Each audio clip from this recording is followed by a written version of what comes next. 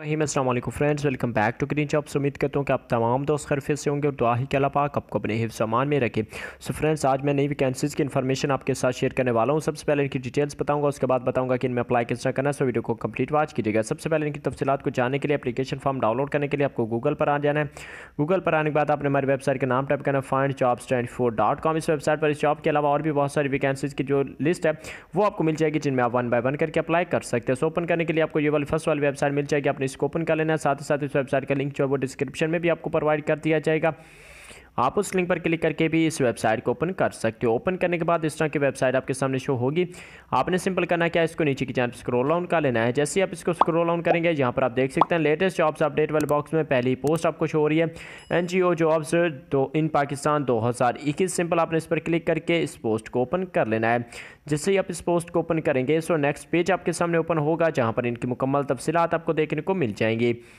यहाँ पर फ्रेंड्स आप नीचे आ जाएँगे तो इनमें पोस्ट डेट लास्ट डेट उसके अलावा डिपार्टमेंट नेम उसके बाद नंबर ऑफ़ पोस्ट उसके बाद लोकेशन उसके बाद जॉब्स की टाइप उसके बाद क्वालिफिकेशन यहाँ पर लिखी हुई है लिस्ट ऑफ़ वैकेंसीज भी यहाँ पर लिखी हुई है, आप रीड कर लीजिएगा।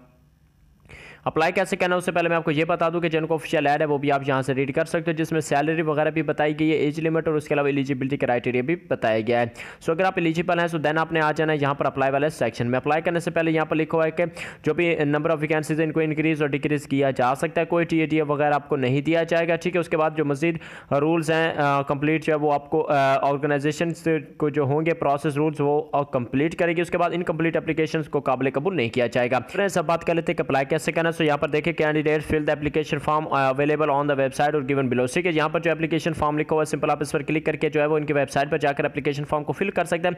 उस एप्लीकेशन फॉर्म के साथ आपने क्या करना है, ये चीज़ें अटैच करनी है। जब उसको आप डाउनलोड कराओगे प्रिंट आउट करवाओगे फिल करने के बाद उसको प्रिंट करवा लेना। उसके बाद यहाँ पर देख सकते आपने जो है वो ये कॉपीज जो है वो अटैच इसके साथ नहीं करनी है। यहाँ पर लिखो please do not attach copies of education certificate experience certificate at this stage ठीक है? Send the application form to ठीक है, आगे सामने एड्रेस लिखा रेड कलर का R T S headquarter fourth floor normal sector G one S ठीक है? सो आपने इस एड्रेस पर जो है वो अपनी यानी कि एप्लीकेशन जो है वो सबमिट करवाने। इसके अलावा इनके जो ऑफिशियल ऐड है, अगर इस पर देखा जाए तो यहाँ पर भी लिखा हुआ है कि send the application form to the following address ठीक है? और इसके अलावा सामने इनकी वेबसाइट भी लिखी हुई है R T S dot R T S P K dot O R G से आप जो वेबसाइट से एप्लीकेशन फॉर्म वगैरह डाउनलोड कर सकते हैं। मजीद रहनमारी आपको हमारी वेबसाइट पर भी मिल जाएँगी।